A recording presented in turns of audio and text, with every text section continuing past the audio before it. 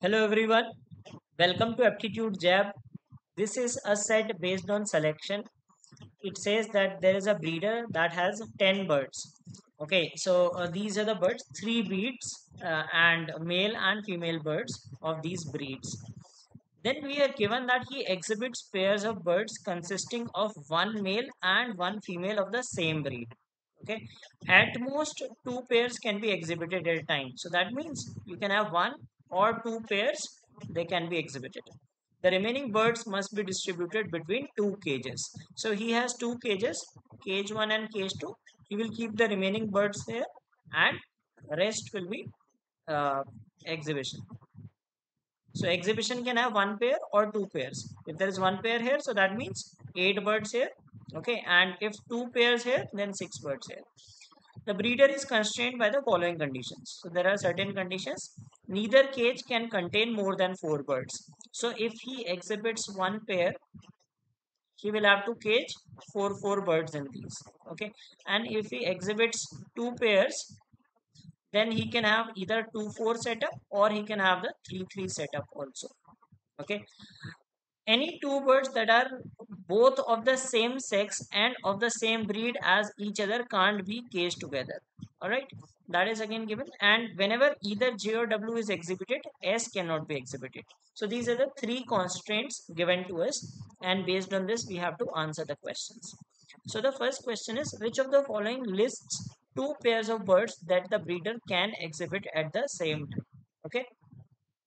Now before even solve this puzzle one thing let us consider is like this condition. Any two birds that are both of the same sex and of the same breed as each other can't be caged together.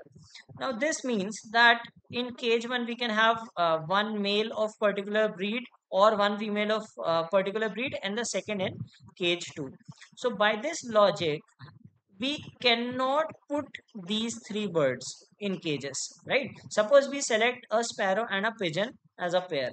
So what will happen in that case is we cannot put these three males because let us say we put q in cage 1 we put r in cage 2 right? We do not have any option left for s.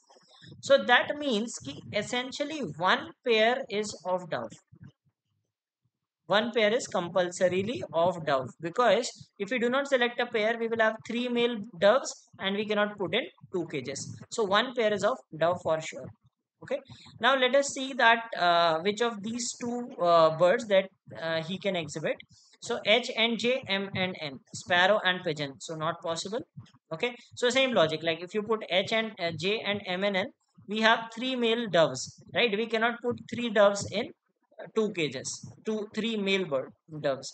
H and J S and T. H and J S and T. Now let us see that if it satisfies all the conditions. So one dove is selected S and T, H and J. Right? We are given that if J is selected, S cannot be if J is exhibited, S cannot be exhibited. So that is why we can reject this option. H and K, M and N. Okay, so again in this case we are again selecting a sparrow and a pigeon right so again this is also not possible so that should be the answer h and k r and w anything wrong with that no h and k one pair of this and r and w is one pair of this so we can exhibit that all right let's look at the next question. If q and t are among the birds that are assigned to cages which one of the following is a pair of birds that must be exhibited? Now q and t are assigned to cages. Okay and we already know that one pair of dove has to be exhibited. So q and t are assigned to cages. This means that uh, one pair has to be out of rw or sw isn't it? One dove pair has to be exhibited and the female out of them is w we are given this condition that if J or W is exhibited, S cannot be exhibited. So S cannot go with W. So the pair has to be RW. So that is a mandatory pair to be exhibited. Next question, which of the following cannot be true? Okay. All right. So uh, if you look at the first option, it says that one pair of doves are the only birds exhibited together. See, uh, we are given that we can have at most two pairs exhibited at a time so we can have one pair also exhibited right and we know that dove is a mandatory pair right so we can exhibit one dove let us say uh, we exhibit Q and W. Just taking an example, we can take uh, Q and W, then we can put remaining four birds in one cage, four birds in the other cage, right? So we will not put R and S together. We will not put J and K together. We can put these eight birds in cage. So this is possible. Okay. Second is one pair of sparrows and one pair of pigeons are exhibited together. So that is our fundamental uh, thing that we figured out that sparrow and pigeon pair cannot be exhibited because one pair of dove is mandatory. Now, if you see one uh, one pair of sparrows, one pair of doves, that is fine. One pair of pigeons, one pair of doves, that is also fine. So B is not possible. We have to have mandatory one pair of uh, doves to be exhibited. Okay, but we can have only one pair of dove also exhibited. If S is one of the birds exhibited, it must be true that okay? So s is one of the birds exhibited. We have to find which of the following will be true. So one pair is s. Okay? So uh, then if s is there j or if j or w is there s cannot be there right? So that means we cannot pair w with s right? So it will be s and t. One pair is s and t right? Uh, now we have to find which of the following must be true okay? Uh, then we cannot have h is exhibited. Maybe we may have h as exhibition right? One pair is st that we know second pair we do not know m is exhibited. Maybe we can have m and n as exhibitions right? So that is also possible. R is assigned to a cage and n is assigned to a cage. So we have to check that which of the following is uh, which of the following must be true right? So suppose we do not assign r to a cage right? Suppose we take that we take condition C that R is not assigned to a cage.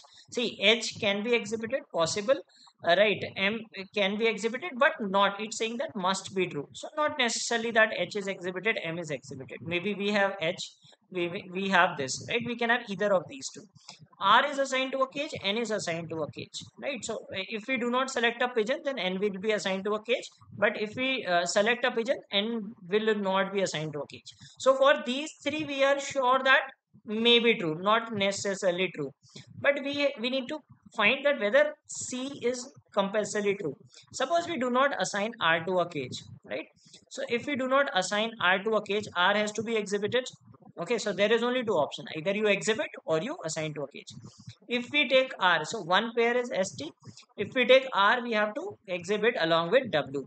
Now if j or w is there s cannot be there right? So uh, this s cannot go with uh, S cannot go with W. So that is why R has to be assigned to a cage. Okay, so that is the answer. One thing we, we need to notice is if we do not select S, right, then we can have two pairs of doves exhibited. We can have, let's say, uh, QT. Okay, we can have RW, right? We do not select S, we can have two pairs of doves. So one pair of dove is possible, two pair of uh, dove is also possible. Okay, uh, and uh, like we can have any of this pair if we do not select S. But we, we need to have at least one pair of dove to, to be exhibited. So that was the solution to the set and the answers to the questions. I hope you loved solving this set and if you like the explanation of this video, so uh, of this set, please do like the video.